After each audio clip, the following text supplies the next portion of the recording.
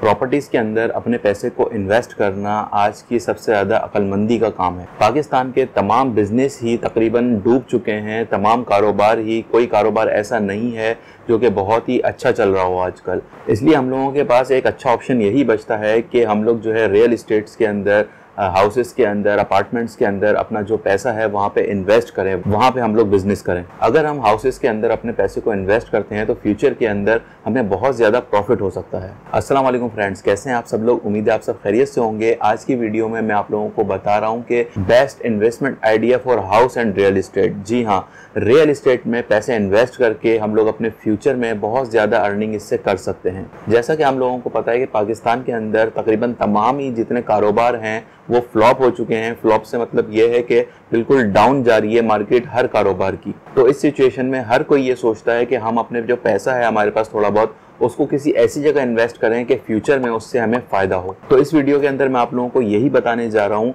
कि ये जो रियल इस्टेट का काम है, इसमें किस किस तरह आप पैसा अपना इन्वेस्ट कर सकते हैं और किस तरह इससे अर्निंग कर सकते हैं फ्यूचर में इससे किस तरह हज़ारों और लाखों रुपए का फ़ायदा उठा सकते हैं। तो वीडियो को एंड तक देखिएगा मिस नहीं करिएगा। वीडियो शुरू करने से पहले बस छोटी सी आप लोगों से रिक्वेस्ट है कि अगर अब तक आप लोगों ने मेरा चैनल सब्सक्राइब नहीं करा है तो चैनल को सब्सक्राइब कर लीजिए ताकि आने वाली इस तरह की तमाम वीडियोज़ की नोटिफिकेशन आप लोगों को मिल सके। और अगर ये वीडियो आप लोगों को अच्छी लगे तो वीडियो को लाइक ज़रूर करिएगा और अपने फ्रेंड्स एंड फैमिली मेंबर्स के साथ शेयर ज़रूर करिएगा। तो चले, बिना टाइम ज़ाया करें स्टार्ट करते हैं हम लोग अपनी वीडियो को। देखें, अगर आप लोगों के पास एक्स्ट्रा कुछ थोड़ी बहुत सेविंग है और उस सेविंग को अगर आप अच्छी जगह इन्वेस्ट करना चाह रहे हैं, जिससे फ्यूचर में आपको जो है फ़ायदा हो तो मैं आप लोगों को बताता हूँ कि प्रॉपर्टी के अंदर रियल इस्टेट के अंदर आप लोग अपने पैसे को कहाँ कहाँ इन्वेस्ट कर सकते हैं और किस तरह इससे फ़ायदा उठा सकते हैं। देखें रियल इस्टेट के अंदर सबसे पहले आ जाते हैं हाउसेस यानी कि घर। अब देखें, अगर आपके पास पैसा है और आप रियल इस्टेट के अंदर इन्वेस्ट करना चाह रहे हैं तो इसका सबसे अच्छा आइडिया ये होता है कि आप लोग कोई इस तरह का घर देखें। फॉर एग्ज़ाम्पल अगर आप लोग पचास से साठ लाख रुपए के दरमियान इन्वेस्ट करना चाह रहे हैं तो पचास से साठ लाख रुपए में एक छोटा घर आ जाएगा। मतलब ये समझ लें कि साठ गज का, अस्सी गज का इस तरह का घर आ जाएगा। तो एक मीडियम रेंज के इलाके के अंदर आप पचास से साठ हज़ार का घर लें और वो घर ऐसा लें कि वो बिल्कुल ये समझ लें कि खस्ता हालत में हो। क्योंकि पचास से साठ हज़ार में हम लोगों को इसी तरह का घर मिलेगा जिसमें बहुत ज़्यादा हमें काम करवाना पड़ेगा। उस घर के अंदर काफ़ी ज़्यादा काम होगा, मगर मैं आप लोगों को बता रहा हूँ कि इससे हम पैसे किस तरह कमाएँगे।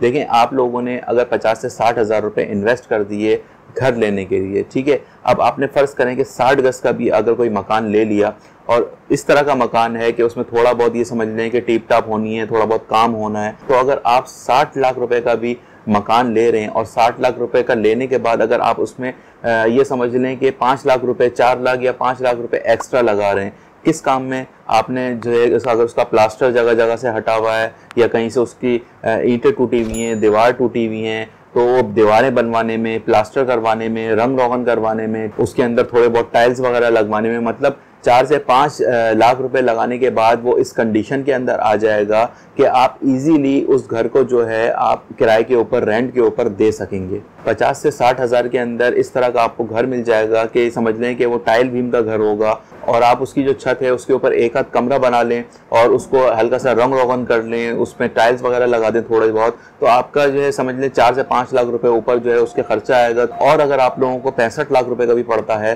तो पैंसठ लाख का लेने के बाद ये समझे कि अगर आपने उसको रेंट पे दे दिया, नीचे का भी पोर्शन रेंट पे दे दिया, ऊपर का भी पोर्शन रेंट पे दे दिया तो ये समझ लें कि एक पोर्शन से आराम से आपके पास पंद्रह हज़ार रुपये महीना आएँगे। यानी कि घर के दोनों पोर्शन से आपके पास तीस हज़ार रुपए महीना इजीली आएँगे। अगर आजकल नौकरियों की बात करें तो नौकरियाँ बीस, पच्चीस हज़ार रुपए की, तीस हज़ार रुपए की नौकरियाँ हैं। सुबह काम पे जाता है, रात में काम पे से आता है और बीस, बाईस, पच्चीस हज़ार रुपए उसको काम के मिलते हैं। अब आप ये देखें कि अगर मैं बता रहा हूँ कि हमने साठ, पैंसठ लाख रुपए इन्वेस्ट कर दिए घर के अंदर और उसको नीचे का पोर्शन भी, ऊपर का पोर्शन भी हमने जो है रेंट पे दे दिया तो तीस हज़ार रुपए तो हमारे पास जो है रेंट के आराम से आ जाएँगे। नीचे के जो हमारा एरिया है उसके भी और जो ऊपर का एरिया हमने किराए पे दिया है उसका भी। और प्रॉपर्टी की वैल्यू हमेशा आपकी बढ़ती रहेगी। प्रॉपर्टी की वैल्यू कभी भी कम नहीं होती। आज जो मकान आप लोग ले रहे हैं छोटा मोटा टूटा फूटा मकान साठ लाख रुपए का, पचास लाख रुपए का, अगर आप इससे दस साल पीछे चले जाएँ तो यही मकान जो है सत्रह सत्रह लाख रुपए के, सोलह सोलह लाख रुपए के हुआ करते थे,